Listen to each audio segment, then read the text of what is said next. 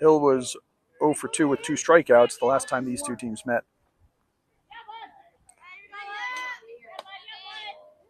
Lily got the start with runner going, the throw, and they've got her in time. Beautiful throw by Victoria Montenegro, tagged by Caitlin Larney, and they